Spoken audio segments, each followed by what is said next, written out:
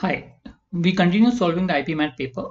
So we will take four more questions out here and try to solve it. So I'm Patrick, basically scored a six time CAT 100 percentile, training students for CAT, IPM, MBA and BBA entrance exam. So my website is patrick100.com. You can also look at my YouTube channel, Patrick100. So courses for IPM, we have a full course, crash course, online workshop, videos and test series. You can look at the online courses at prep.patrick100.com. Now basically what we are looking at is how to go about solving it. I mean normally a lot of sums can be solved much faster if you look at a non-traditional method of solving. So let's look at solving some of the ways. So in a school 70% of the boys like cricket and 50% like football. So X percent like both cricket and football. So when is it max? When all this 50 percentage like cricket. Right? When all is 50% like cricket, that is the maximum. So which will be 50% can be the max. You can't go more than 50% because the number of people like football is maximum 50%. And since that is the max, so automatically the option you can directly mark the answer is A as 50%. But let's just for our understanding, let's try to look at what is minimum also. So you have the Venn diagram. So for minimum, it has to be distributed across everyone. So this 70% are cricket, right? So 30% are not cricket. So minimum, these 30% should be the one who like football. So football is 30% like football. But overall football is 50 percentage. So common will be 20 percentage.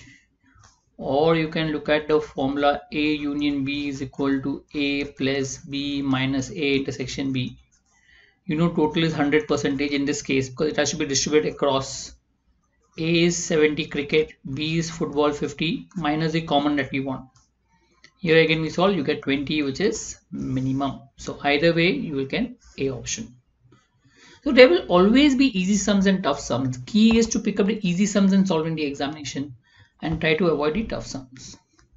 This is again based on Venn diagram but a three variable Venn diagram.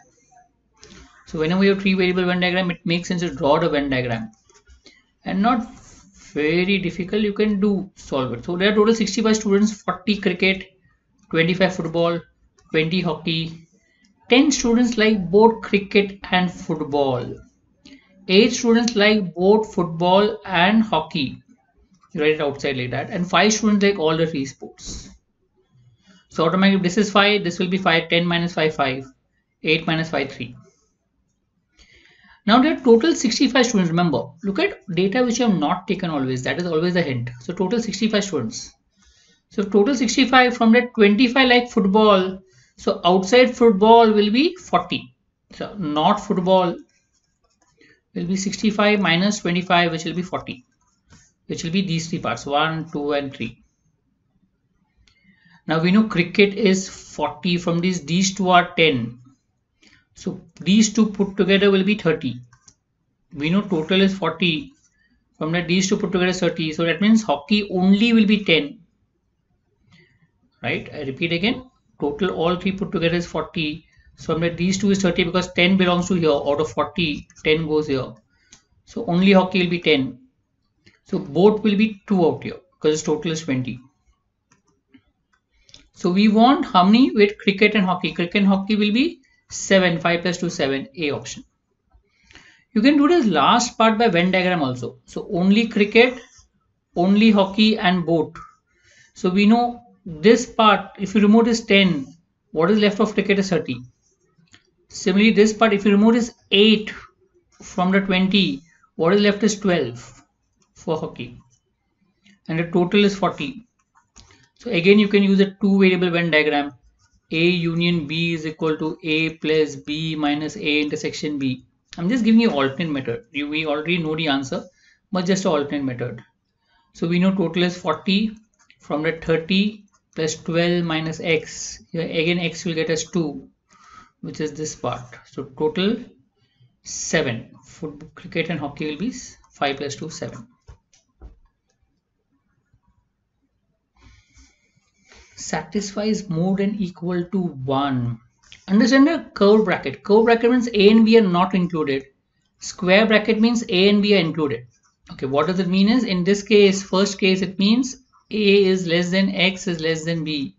Second case a is less than equal to x less than equal to b. Just for understanding. Now to solve this, we can break up the denominator and say it is x plus 1 into x plus 2 more than equal to 1. Now 1 it will satisfy when all three are positive. So when will all three are positive? Just put values and check out. When the value of x is more than 4, more than 3, when x is more than 3, all three will be positive. But when you put x is more than 3, you will get denominator more than numerator. For example, if I put 4, for example, if I put x equal to 4, I'll get numerator is 1, denominator is 5 into 6. And as in when you increase the value of x, the denominator will be more, it will not satisfy. That means I know all three positive will not satisfy for sure. When else will it be positive? Right, two values are negative, one value is positive. So just think of when two values will be negative and one value will be positive. x plus 2 will be largest, so that has to be positive, remaining 2 has to be negative which is possible when value of x is between 2 and 1 uh, sorry minus 1 and minus 2 I'm sorry x will be x plus 1 will be negative x minus 3 will be negative and x plus 2 will be positive. So let's substitute let's say let's substitute 1.5 minus 1.5 if I put minus 1.5 you'll get minus 4.5 numerator. Denominator will get 0.5 minus into 0.5 plus. If you notice this is more than 1 for sure positive and more than 1 so satisfy. So i know values between minus 1 and minus 2 will definitely satisfy. So d option ruled out but i know value between minus 1 and minus 2 will satisfy. So the value of b minus a will be minus 1 minus minus 2 which will be 1 b option. I repeat there are two cases possible all three positive or two negative and one positive. That is the only case when both the overall value will be positive. But 3 positive we don't get it because the value becomes less than 1 so not possible.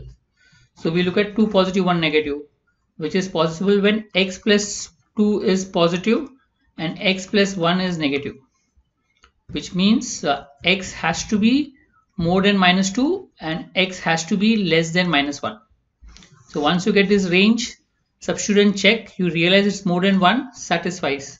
So value of b minus a will become between minus 1 and minus 2 which is 1 as the answer.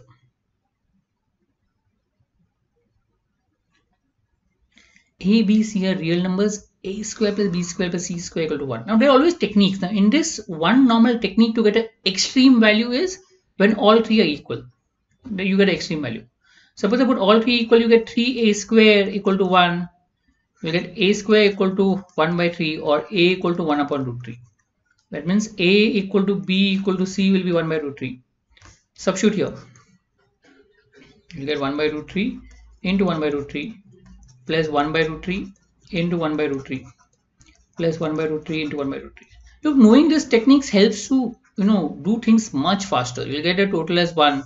So I know the extreme case is 1. So automatically A and B option ruled out extreme case is one so a and b option ruled out you're left with only c and d now let's look at minus 1 is possible or what so i realize minus 1 is not possible even if i take a negative or b negative okay or all three negative if i take all three negative also a b c minus 1 by root 3 i will still get positive 1 if i take even one negative 1 by root 3 minus and b and c is positive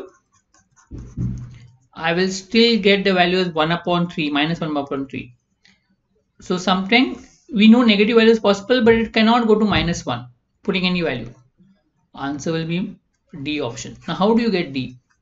When you put two values as equal. So one another extreme case which is possible I normally see is when one value is high and other values are 0. So let's say a square equal to 1 and b square and c square equal to 0 in which case a equal to 1 or minus 1 but you will get 0 ab plus bc plus cea equal to 0 which is there in both c and d.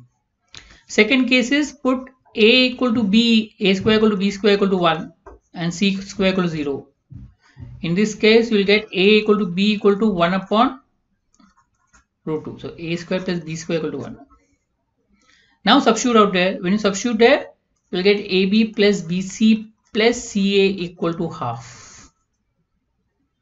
So you can make a minus half. Sorry if you take minus 1 by root 2 you will take minus half so minus half is possible D option. I repeat this. One technique is to put equal values. If you put equal values you normally get the extreme case. So the extreme case we got it as 1 so automatically C and D are possible A and B are definitely not possible. Now once I get C and D I check if minus 1 is possible. By putting different cases I don't get minus 1 I do get minus half in this case. I do get minus 1 in this case minus half. But there's no way I can get minus 1 normally substitution of values are much faster and much easier. In this case I do get the answers D option with substituting. Right? I hope it's clear.